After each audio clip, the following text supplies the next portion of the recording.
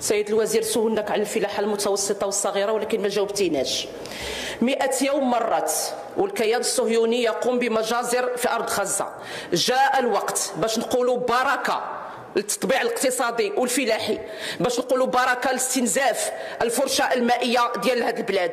راه وصلنا الفرشه المائية الثالثة السيد الوزير. تاخرتوا في تفعيل البرنامج الوطني الأولي اللي ورثتوه على هذوك اللي ما داروا والو. جبتوا لنا الجيل الأخضر وهو فقط استمراريه للمغرب الأخضر واستمراريه لاستنزاف الفرشة المائية. والدليل هو 110 مليار اللي مشات في اتفاقيات توقعت في مكناس مع الهيئات ومع الفيدراليات. وجاءت متناقضة مع مع آخر تصريح الوزير التجهيز اللي كان قالنا بالحرف أن المساحات المسقية فاتت بكثير من القدرات المائية المستقبلية. هذا الشيء اللي وضعنا في الوضعية اللي إحنا فيها وها هو الكلام ديال الوزير. الجفاف بنيوي نعم ولكن جلالة الملك راه عطات توجيهات لا أثر لها. بديتوا بالترقاع والبرامج الاستعجالية. قلنا معليش الحكومة راها بادية. الحكومة بطبيعة الحال لما أنتم راكم قدام في الحرفه انت ورئيس الحكومة. ولكن رحنا على مشارف شهر رمضان.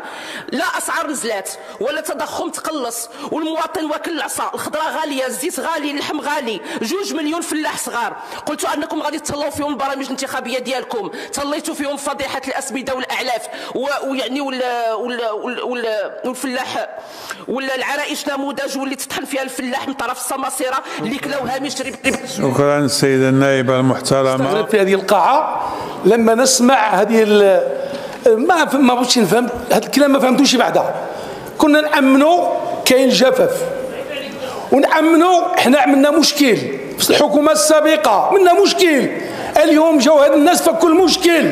لولا التصفية ديال الشوكة عتباها الماء اللي ما جاب قنيطره دار بيضاء. دابا الآن من ملال واحد عدد المناطق. كنا نكونوا اليوم في مشكل أكبر. ولكن بالمجهودات ديال الحكومة والفطنة ديالها الآن كنشوف السيد وزير الفلاحة أو في جراده أو في الناظور أو في السوس أو في كذا يتواصل مع الناس.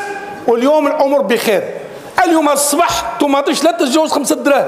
بطاطا لا تتجاوز خمسة دراهم. ما كاينش ما كاينش. يعوذ بالله دابا سخبينا الأرض هذا كان مردود على صحابي. كثر العام نقولوا حنا فشلنا كانت عندنا الحكومة. كانت الحكومة الفلاحه كانت وزاره الفلاحه سابقا من حصرها 125 برلماني محصرينها ممنوع. الرؤيه ديال الوسطى ولا ترجمش في الواقع. واليوم نجوا نبقاو نعاقبوا على هذه الحكومة.